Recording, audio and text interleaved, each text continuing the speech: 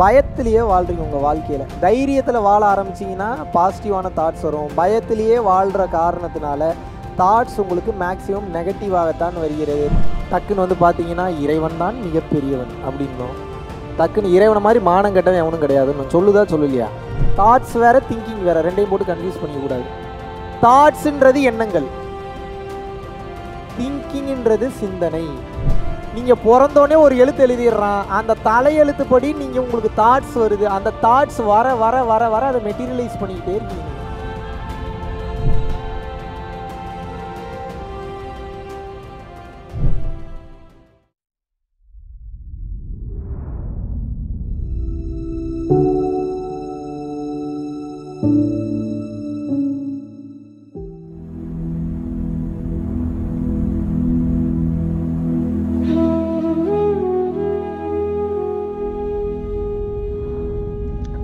வணக்கம் பிரதர் எப்படி இருக்கீங்க? என்ன உங்களுக்கு ஞாபகம் இருக்குன்னு நினைக்கிறேன். என் பேர் ஹரி ராமஜெயம். நான் தூத்துக்குடியில் இருக்கேன். திருச்சி கிளாஸ் தான் உங்களோட ஃபஸ்ட் கிளாஸ் அட்டன் பண்ணேன். அது கரெக்டான டைமில் வந்து எனக்கு உங்களை சந்திக்கிற வாய்ப்பு கிடச்சிது. யூடியூப்பில் உங்களை இதை பார்த்தேன். அதுக்கப்புறம் நான் வந்து சின்ன சின்ன விஷயத்தை பண்ணிகிட்டு இருந்தேன். ஆனால் திருச்சி கிளாஸ் அட்டன் பண்ணுறதுக்கப்புறம் நிறையாவே பண்ண ஆரம்பிச்சிட்டேன். ரோட்டில் போகிறவங்க காசுன்னு கேட்டாங்கன்னா பர்ஸில் இருந்தால் எடுத்து கொடுக்குறது. அப்புறம் அண்ணன் கோயில்களுக்கு அன்னதானம் டொனேஷன் கொடுக்குறது நம்மளால் முடிஞ்சவங்களுக்கு சாப்பாடு வாங்கி கொடுக்குறது ரோட்டில் சாப்பாடுக்கு இல்லாமல் இருக்கவங்க வாங்கி கொடுக்குறது அந்த மாதிரி பண்ணிகிட்டு இருந்தேன். அதுக்கப்புறம் நான் ஒரு முடிவு எடுத்தேன். நம்ம ரெகுலராக ஃபவுண்டேஷனுக்கு வந்து மந்த்லி ஒரு ஃபைவ் தௌசண்ட் கொடுக்கணும். இப்போதைக்கு இப்போ அடுத்த ஜனவரிலேருந்து மந்த்லி டென் தௌசண்ட் கொடுக்கணும் அப்படிங்கிறது வந்து என் மைண்டில் நான் வச்சுருக்கேன். ஃபைவ் தௌசண்ட் நம்ம ரெகுலராக கொடுக்கணும்னு சொல்லிட்டு நான் இன்ன வரைக்கும் மந்த்லி மந்த்லி கரெக்டாக ஃபவுண்டேஷனுக்கு ஃபைவ் தௌசண்ட் கொடுத்துட்ருக்கேன் ஏன் சொல்கிறேன் அப்படின்னா ஸோ நான் அதை கொடுக்கும்போது நிறைய சேஞ்சஸை நான் பார்த்தேன். ஏன்னா அக்கௌண்ட்டில் எனக்கு பணமே இல்லைனாலும் எனக்கு வந்து ட்ரையே ஆகாது. எப்படினாலும் பணம் வந்துடும் எனக்கு. ஸோ மந்த்லி அந்த ஃபைவ் தௌசண்ட் எனக்கு கொடுக்கலனா மட்டும்தான் ஸோ ஏதோ எனக்கு ஸ்ட்ரகிள் ஆன மாதிரி இருக்கும். நான் அது எதுக்காக சொல்கிறேன்னா நீங்கள் பண்ணுற நல்ல விஷயங்களோட புண்ணியங்கள் வந்து நான் கொடுக்கறதுனால எனக்கு வந்து கிடைக்குதுன்னு சொல்லிட்டு நான் உணர ஆரம்பித்தேன் உணர ஆரம்பிக்கும் போது ரெகுலராக நானும் கொடுத்தேன். அது மட்டும் இல்லை ஒரு ஐம்பது வயசில் கிடைக்கிற பக்கம் வந்து எனக்கு இப்போ ஏதோ கிடைச்ச மாதிரி எனக்கு ஒரு ஃபீல் ஓகே லைஃப்னா என்ன அப்படிங்கிறதுல ஒரு ஃபிஃப்டி பர்சன்டேஜ் புரிஞ்சிருச்சுன்னு நினைக்கிறேன் எனக்கு. ஆனால் இன்னும் அதை வந்து செயல்படுத்தணும். செயல்படுத்தி இன்னும் லைஃப்பில் வந்து அடுத்த கட்டத்துக்கு போகணும். அதுக்கு உங்களோட உதவியும் பேரன்பும் ஆதரவும் ஆசீர்வாதமும் எனக்கும் என் குடும்பத்துக்கும் வேணும்னு சொல்லி தாழ்மையோட கேட்டுக்கொள்கிறேன் பிரதர் நன்றி brother thank you love you brother love you மனம் என்ற ஒன்றை பற்றி இப்போ நீங்கள் தெரிஞ்சுக்கணும். மனசை பற்றி நீங்கள் தெரிஞ்சுக்கல அப்படின்னா இந்த வாழ்க்கையை இன்னும் நீங்கள் நூறு வருஷம் வாழ்ந்தாலும் பிரயோஜனமே கிடையாது. இன்னொரு ஒன் மில்லியன் டாலர்ஸ்க்கு நீங்கள் சொத்து வச்சுருந்தீங்கனாலும் பிரயோஜனம் கிடையாது. ஏன்? அறிய வேண்டிய ஒன்றை அறிந்தவனே எல்லாம் அறிந்தவனாவான். எந்த அறிய வேண்டிய ஒன்றை அறியணும் அப்படின்னா மனம் என்பதை பற்றியும் உயிர் என்பதை பற்றியும் உடல் என்பதை பற்றியும் நீங்கள் அறிய வேண்டும். அப்படி இல்லை என்றால் இந்த வாழ்க்கையை வாழ்ந்து பயனில்லை. கிளியர் சரி ஃபஸ்ட்டு மனசை பற்றி பார்ப்போம். இந்த மனம் எப்படிப்பட்ட தன்மை கொண்டதுன்றது தெரிஞ்சதுனா தான் இந்த வாழ்க்கை என்பது என்னவென்பது உங்களுக்கு புரியும். மனசு அப்படின்றது நல்லவனா கெட்டவனா? நீங்கள் சொல்லுங்கள் வெரி குட் கிளாப் பண்ணுங்க ஐயாவுக்கு. நல்லா கிளாப் பண்ணலாம். பாராட்ட கற்றுக்கொள்ளுங்கள். கரெக்டாக சொல்கிறாரு நியூட்ரலான ஸ்டேட்டில் இருக்கும் அந்த மனசு. அதுக்கு நல்லதும் தெரியாது கெட்டதும் தெரியாது. வெளியில் இருக்கக்கூடிய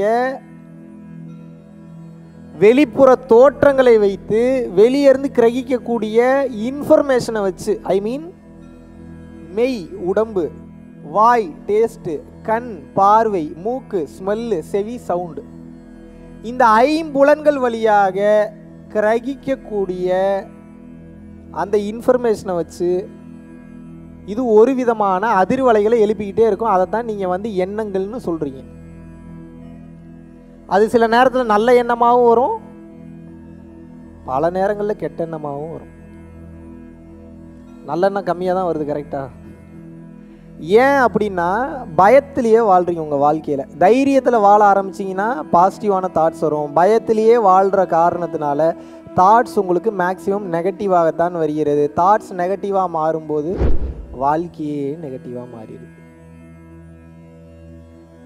இப்போ ஒரு ஒரு காட்சியை பார்க்குறீங்க ரெக்கார்ட் ஆகுது உள்ள. ஆகுதா இல்லையா? ஆகுதா ஆகலையாங்க? ஸ்மெல் பண்ணுறீங்க ஒரு ஸ்மெல்ல உள்ள ரெக்கார்ட் ஆகுதா இல்லையா? ஒன்று டேஸ்ட் பண்ணுறீங்க உள்ள ரெக்கார்ட் ஆகுதா இல்லையா? ஒரு சவுண்டை கேட்குறீங்க உள்ள ரெக்கார்ட் ஆகுதா இல்லையா? ஒரு ஒரு ஒரு விதமான ஒரு அதிர்வலைகளை உங்கள் உடம்புல இப்போ நான் தொடுறேன் அப்படின்னா உங்கள் ஜஸ்ட்டு டச் பண்ணுறேன் அப்படின்னா ஒரு உணர்வு. ஓங்கி அடிக்கிறேன் அப்படின்னா ஒரு உணர்வு. சூடு வைக்கிறேன்னா ஒரு உணர்வு. கில்றேன்னா ஒரு உணர்வு. சொரன்றேன்னா ஒரு உணர்வு. மசாஜ் பண்ணி விட்றேன்னா வேற மாதிரி உணர்வு உங்களுக்கு. இதெல்லாம் ரெக்கார்ட் ஆகுதா இல்லையா உள்ள? இப்படி பிறந்ததுலேருந்து ஏகப்பட்ட ரெக்கார்டு ஐம்புலன்கள் வழியாக ஃபைவ் சென்சஸ்ன்னு சொல்கிறாங்க இந்த ஃபைவ் சென்சஸ்ன்ற ஒன்று இல்லைன்னா இந்த உலகத்தை உங்களால் கிரகிக்க முடியாது. இது புரியுதா புரியலையா? இந்த ஃபைவ் சென்சஸ் வழியாக நீங்கள் கிரகிக்கக்கூடிய அந்த மொத்த தகவல்களும் அந்த மொத்த இன்ஃபர்மேஷனும் உள்ளே பதிந்துள்ளது. இப்போ அந்த பதிவை வச்சு உங்கள் மனசு என்ன பண்ணுதுன்னா நான் இவன் நான் அவன் இதை பண்ணு அதை பண்ணுன்னு உங்களுக்கு ஆர்டர் போட்டுக்கிட்டே இருக்குது ஏன் அப்படின்னா அதனுடைய குணமே அதுதான். அதுக்கு நல்லதும் தெரியாது கெட்டதும் தெரியாது. அது அதனுடைய வேலையை பார்த்துக்கிட்டே இருக்கும். டக்குன்னு வந்து பார்த்தீங்கன்னா இறைவன் தான் மிகப்பெரியவன் அப்படின்னும். டக்குன்னு இறைவனை மாதிரி மானம் கெட்டவன் எவனும் கிடையாதுன்னு சொல்லுதா சொல்லலையா? டக்குன்னு வந்து பார்த்தீங்கன்னா அம்மாவை போல சிறந்த ஒரு உயிர் உலகத்திலேயே எதுவும் கிடையாது அப்படின்னும். தாய் தான் சிறந்தவள்னோம். கடைசியில் தாயை மாதிரி ஒரு பேயை நான் பார்த்ததே இல்லைன்னோம். சொல்லுதா சொல்லலையா? இப்படித்தான் எதையெல்லாம் புகழ்ந்து பேசுகிறீங்களோ அதையெல்லாம் தாழ்வாக பேசக்கூடிய திறமையும் ஆற்றலும் இந்த மனதிற்கு உண்டு. ஏனென்றால் இந்த மனம் என்பது மானங்கெட்டது இதுக்கு நிலையான எண்ணமே கிடையாது நிலையான குணமும் கிடையாது இதுக்கு நிலையா ஏதுவும் கிடையாது. அப்போ இந்த மனம் என்பதை வைத்து நீங்கள் என்ன பண்ணணும் அப்படின்னா சயின்டிஸ்ட் வந்து இதை வந்து சயின்டிஃபிக்காக ப்ரூவ் பண்ணுறாங்க எப்படி ப்ரூவ் பண்ணுறாங்கன்னா ஒரு நாளைக்கு அறுபதாயிரத்துலேருந்து எழுபத்தி ரெண்டாயிரம் தாட்ஸ் வருதான். எத்தனை thoughts அறுபதாயிரத்துலேருந்து sixty thousand to seventy two thousand thoughts per day இதில் எங்கே போய் கரகான்றது நம்ம? அறுபதாயிரத்துலேருந்து எழுபத்தி ரெண்டாயிரம் தாட்ஸ் வருதுன்னா இதில் நல்ல தாட்ஸ் எது கெட்ட தாட்ஸ் எதுன்னு உட்காந்து பிரிக்க முடியுமா உங்களால்? டைம் டேபிள் போட்டு.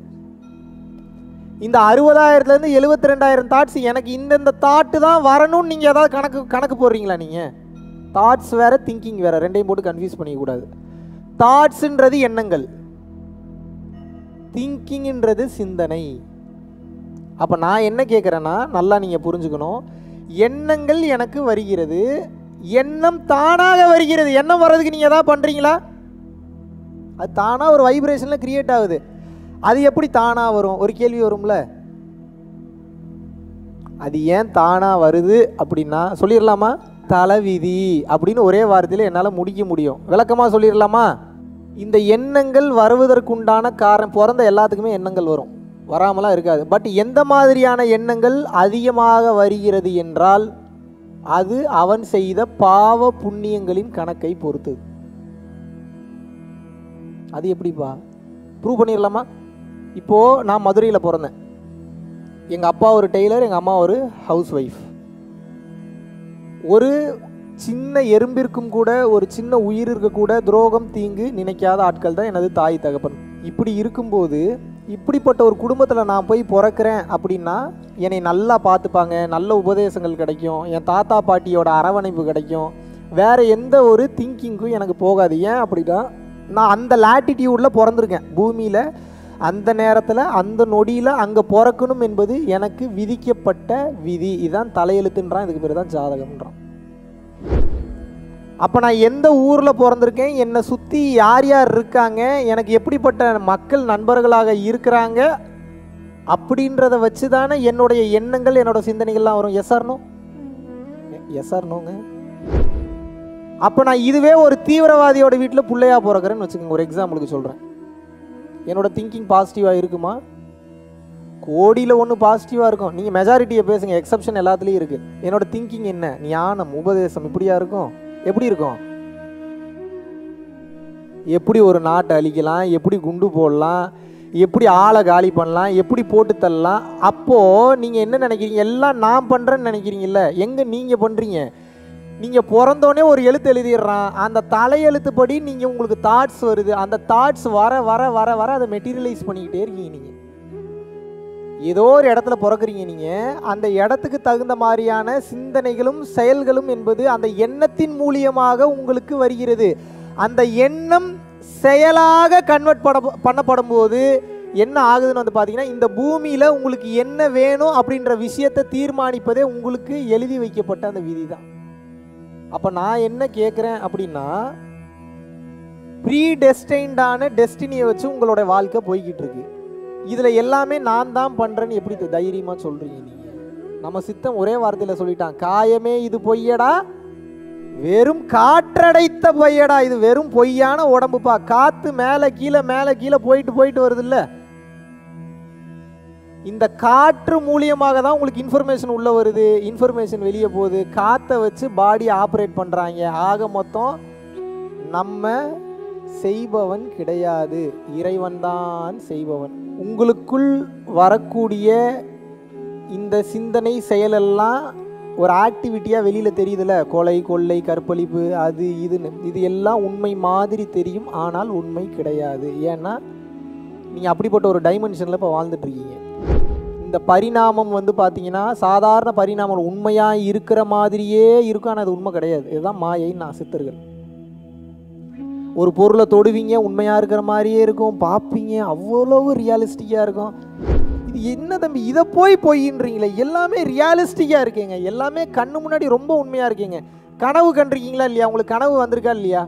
கனவு நீங்கள் காணும்போது எத்தனை டைம் உங்களை கொலை பண்ணுற மாதிரி மாடியிலேருந்து குதிக்கிற மாதிரிலாம் உங்களுக்கு கனவு வந்திருக்கும். வந்திருக்கா இல்லையா? தப்புன்னு முழிச்சு பார்த்தீங்கன்னா அப்பாடா உயிரோட தான் இருக்கானா? நல்ல வேலை கொஞ்ச நேரத்தில் பயந்துட்டேன்னு தோணி இருக்கா தோணலையா? அப்போ ஷார்ட் டைம் கனவுல இருந்தீங்க இப்போ லாங் டைம் கனவுல இருக்கீங்க. அப்போ படுத்துக்கிட்டே கனவு கண்டுட்டு இருந்தீங்க. இப்போ நின்றுக்கிட்டு நடந்துக்கிட்டே கனவு கண்டுட்டு இருக்கீங்க. ரெண்டுத்துக்கும் பெரிய டிஃப்ரென்ஸ் கிடையாது. அது ஷார்ட் டைம் ட்ரீம் இது லாங் டைம் ட்ரீம் இதுலேருந்து எப்போ முழிக்க முடியும் அப்படின்னு வந்து கேட்டிங்கன்னா பார்க்கின்ற ஒவ்வொரு பொருளும் இறைவன் ஒரு விளையாட்டிற்காக நடத்துகிறான்ற புரிதல் வந்தால் தான் இந்த கேம்லருந்தே வெளியில் வர முடியலன்னா வெளியில் வர முடியாது. முடிஞ்சு போச்சு இவ்வளோதான் ஞானம். இது நாள் வரைக்கும் நீங்கள் வந்து காத்து தவித்து ஏங்கி கொண்டிருந்த லென்த்தி வீடியோஸ் அதாவது ஹவர் கணக்கில் இருக்கும் நிறைய விஷயங்கள் வந்து நம்ம யூடியூப்ல ரொம்ப ஓப்பனாக பேச முடியாது.